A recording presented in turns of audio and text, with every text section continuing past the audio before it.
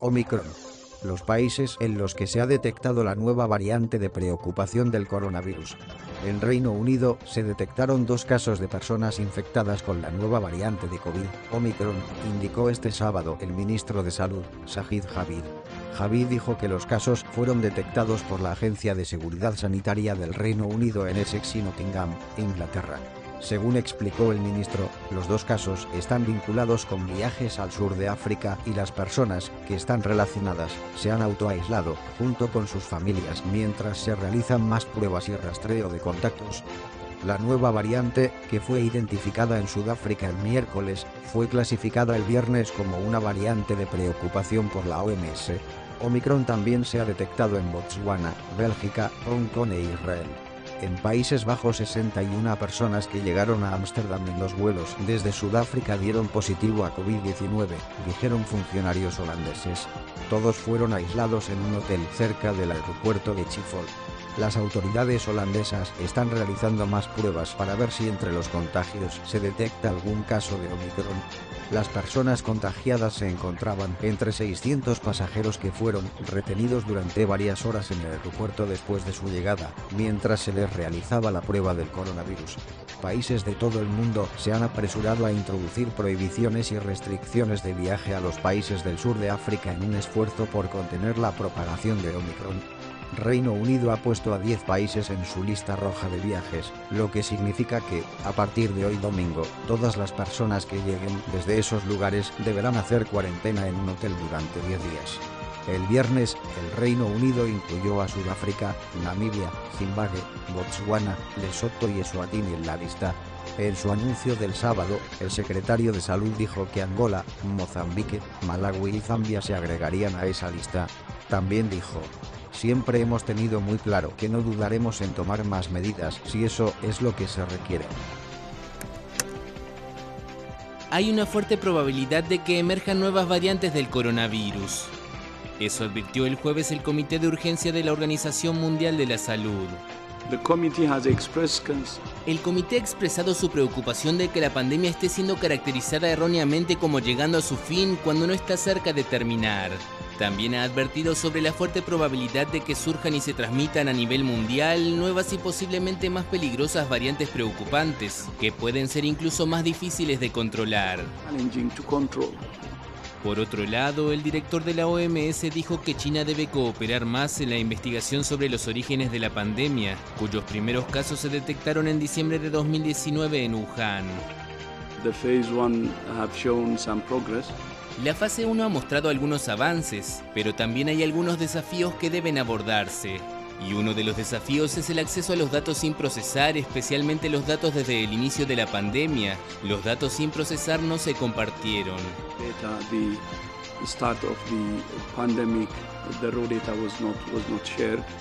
El funcionario también reconoció que hubo un intento prematuro de reducir el número de hipótesis, en referencia a las conclusiones de una investigación conjunta dirigida en China por científicos de ese país y un equipo seleccionado por la OMS que había calificado como muy improbable una filtración del virus desde un laboratorio.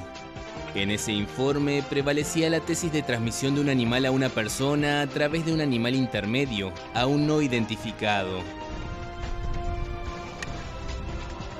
La detección de una nueva variante del coronavirus llamada B1X. El primer caso fue diagnosticado en una escuela en Francia a inicios de octubre. A un mes de este evento, la mutación se ha propagado en la población británica, escocesa, italiana y sueca. No fue hasta el pasado viernes 12 de noviembre cuando la Public Health France oficializó la aparición de la nueva variante. De acuerdo con Cyril Cohen, profesor de la Universidad Bar Ilan en Israel, la variante P1640, como también se le conoce, tiene algunas mutaciones nuevas que no habían sido vistas desde que inició la pandemia. Una de las novedades estudiadas en la variante P1X fue que la proteína de pico S, a través de la que el SARS-CoV-2 accede a las células humanas para infectarlas, sufrió un cambio genético, perdiendo un segmento de su ADN. Dicho cambio, según las palabras del científico, disminuiría la eficacia de las vacunas anti-COVID, pues reduciría la capacidad que tiene de identificar a la envoltura vírica. Hasta la fecha, el conocimiento de esta variante es escaso pero ha sido vinculada con el repunte en los casos en ciudades europeas, por lo que las autoridades sanitarias han insistido a la población a no descuidar las medidas de cuidado personal, como el uso de cubrebocas, evitar espacios cerrados y concurridos, así como establecer la distancia social. La Organización Mundial de la Salud no se ha pronunciado en relación de si esta mutación será clasificada dentro de las categorías variante de interés o como variante de preocupación. Alemania confirma dos casos de la variante Omicron.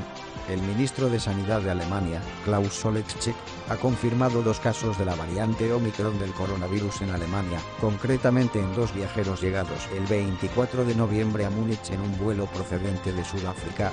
Los dos pacientes continúan en Baviera, cuya Consejería de Sanidad Estatal ha confirmado que se encuentran en aislamiento desde el 25 de noviembre tras el positivo por PCR. Además, las autoridades bávaras contactaron el 24 de noviembre con los pasajeros del vuelo para pedirles que se presentaran en un centro de salud. Además, todas las personas que hayan llegado desde Sudáfrica en los últimos 14 días deberán limitar de inmediato sus contactos, someterse a una prueba PCR e informar de sus últimos desplazamientos. Omicron se mueve rápidamente. Países de todo el mundo se apresuran a evitar su expansión, prohibiendo vuelos desde la región donde se detectó por primera vez la variante. Los sudafricanos se encuentran ahora aislados del mundo. Mi temor actual es la restricción de los viajes porque es una parte importante de mi trabajo. Por lo tanto, me preocupan las implicaciones laborales que va a tener. Es realmente preocupante también el hecho de que nadie sabe si las vacunas que están ahora en el mercado realmente son eficaces contra esta variante o no. Desde que el Reino Unido anunció su prohibición, otros países han seguido su ejemplo. El gobierno sudafricano dice que ha actuado con demasiada rapidez. Las reacciones de algunos de los países en términos de imponer prohibiciones de viaje viola las normas y estándares recomendados por la Organización Mundial de la Salud. El Reino Unido simplemente se adelantó e impuso restricciones sin siquiera hablar con nosotros, por lo que fue básicamente una acción unilateral. A pesar de la rapidez con la que se anunciaron las restricciones de viaje, es más probable que ralenticen pero no eviten la propagación de la variante Omicron. Las autoridades sanitarias holandesas temen que decenas de pasajeros infectados por el COVID que llegaron el viernes a Ámsterdam puedan estar también infectados por la nueva variante. Hong Kong, Israel y Bélgica ya han confirmado casos. Tenemos un caso confirmado de esta variante de COVID-19 recién descubierta. Se trata de una persona procedente del extranjero. A esta persona se le hizo un test el 22 de noviembre, no estaba vacunada y no tenía ninguna infección previa. El mundo ha avanzado en la lucha contra el coronavirus, pero la nueva variante muestra que la batalla está lejos de ser ganada. El mensaje por ahora de numerosas autoridades, vacunarse, recibir la dosis de refuerzo y seguir las normas de salud pública. La nueva variante del COVID Omicron preocupa a científicos y economistas. La confirmación de la nueva variante del COVID-19 detectada en Sudáfrica ha sacudido a los científicos, autoridades sanitarias y mercados globales.